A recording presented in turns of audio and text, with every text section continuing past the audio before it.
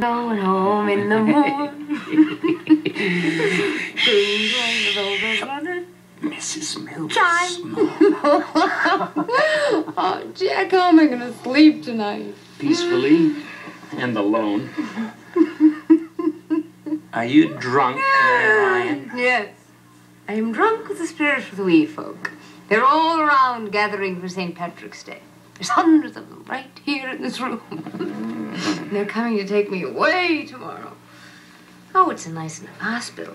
I'm so happy I get to leave. And there's a party at the Ryans every March 17th. Green clothes, green food, a few green faces as the evening wears on. You'll love it.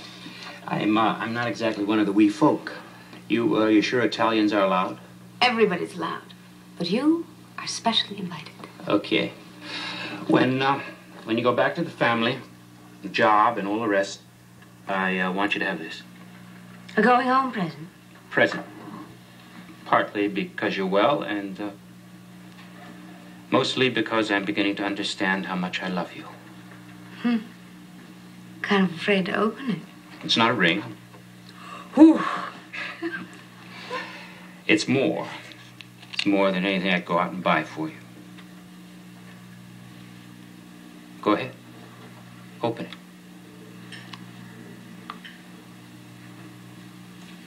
Oh, Jack.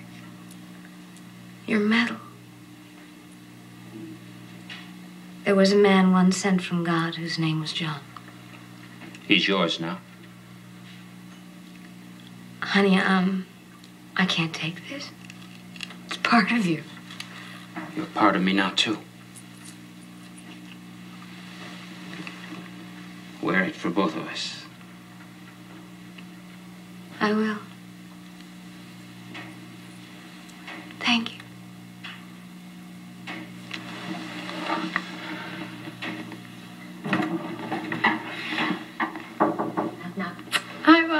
Hello, darling. Hello there, Jack. I brought these things for the morning. I think there's everything that you want. Wonderful. Oh, we're all so excited. Even little John knows his Aunt Mary is coming home. He keeps running into your room to see if you're there yet. I'll have to bring him a present. Can I show Mother? Of course. Jack's given me something very special. It's lovely. It's uh, St. John the Baptist medal. Is that your patron saint? Mm-hmm. And a uh, particular friend of Sister Mary Jo. Ah, she's the nun that raised you. She gave it to him years ago, not long after he was brought to the orphanage. Well, He's worn it ever since. it must be very precious to you. It is. Well, I'd like to meet St. Mary Jo one of these days. I think you'd enjoy each other. Sleep, dear, sleep. Won't be easy. Night, May. See you tomorrow. I love telling her Hmm. Wonder what she thinks. that you must love me a whole lot. It's more than that, you know. Marion, I want to say that the medal's a promise to you, but that's not quite true. It's more of a hope. I don't know how to explain it. You don't have to. I know.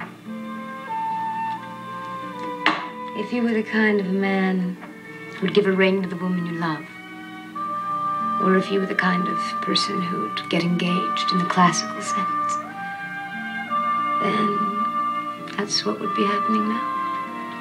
Why can't I be that kind of man? Oh, Jack. Who knows what you'll become three months ago? You never would have parted with this medal. You loved me, but not like now. Not like now. That's what the medal means. You want us to be together, part of each other. For as long as possible. We're not talking about forever. Not yet. Ha ha. You said that good.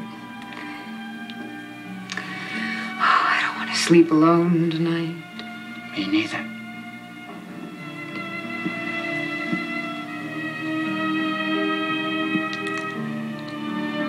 Soon.